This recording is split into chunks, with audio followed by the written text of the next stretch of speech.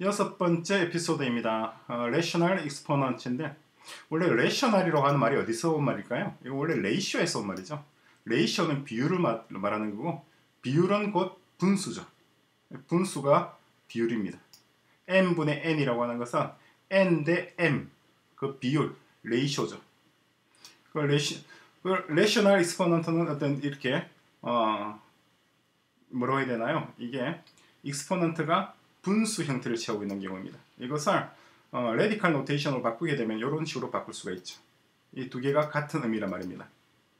상당히 재미있는 현상이죠. 예를 들어서 보겠습니다. 지금 보면은 x의 5분의 3승은 어떻게 하나요? 이렇게 앞에 5가 나오고 뒤에 3 이것도 fifth root of x to the 3 되는 거죠. 6분의 5성 같은 경우는 마찬가지로 6th root of 3x to the 5가 됩니다. 그죠?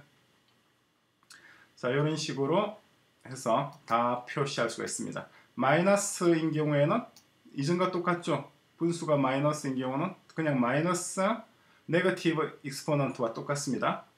negative exponent는 이렇게 분수 형태로 표현이 되죠. 자 그렇게 해서 다음 예제를 보면은 어, 이걸 이제 이렇게 바꾸는 것도 어, 분자가 어, 분모가 여기로 오고 분자가 여기로 오는 거죠. 그죠? 똑같습니다. 분모를 앞으로 빼주고 분자를 뒤로 빼주면은 루트 형태 그러니까 레디칼 노테이션으로 우리가 전환할 수가 있습니다. negative인 경우에는 분수 형태 뭐뭐 분의 1 형태가 되겠죠. 그럼 27의 마이너스 3분의 4승을 하게 되면 일단 이것은 이렇게 분수 형태로 구인이 되는데 27 자체가 3, 9, 27 3의 3승이잖아요. 그래서 빠져나오겠죠. 3의 3의 4승 분의 1이 되겠습니다. 3의 4승이 얼마죠? 81이군요. 81분의 1이 됩니다. 우리가 properties of exponent를 지난 에피소드에서 공부를 했었죠. 이렇게 동작하는 것들. 특히 우리가 주의를 기울일 부분은 이거죠. b분의 a의 마이너스 m승은 어떻게 되나요? a와 b를 거꾸로 해주는 것 같습니다. 그럼 이건 어떻게 된 거죠? 이건 a의 마이너스 m승은 당연히 거꾸로 되는 거죠. a분의 m승분의 1이잖아요. a의 m승분의 1분의 1이 되니까 a의 m승이 됐죠. 그죠? 이 두 개가 같은 것입니다. 이것이 이렇게 전개되는 과정은 우리가 나중에 고등수학에서 또 다시 한번 살펴봅니다.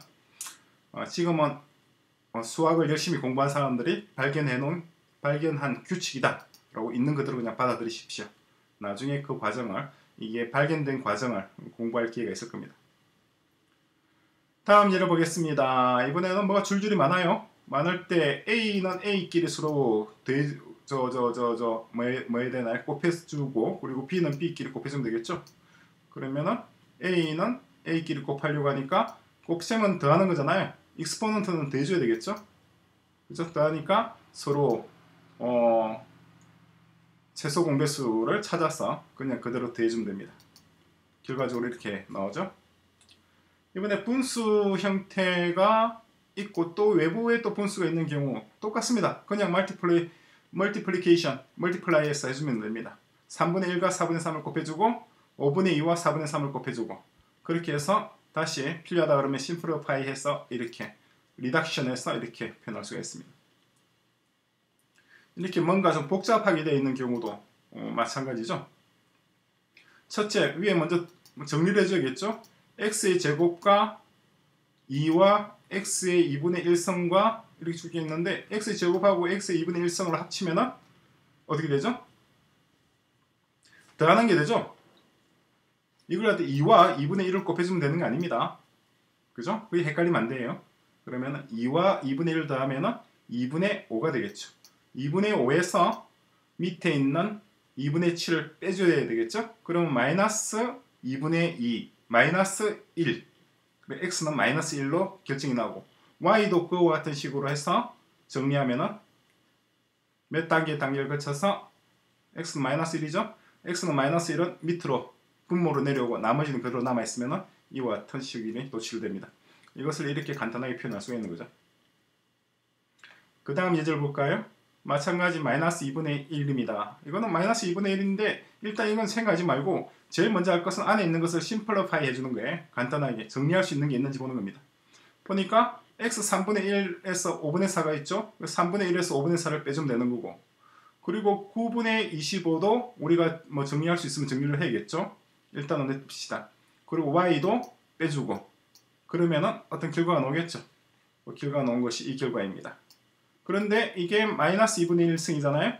우리가 정의를 본 결과 이렇게 됐었죠. b분의 a의 마이너스 m승은 a m승분의 b분의 m쌍.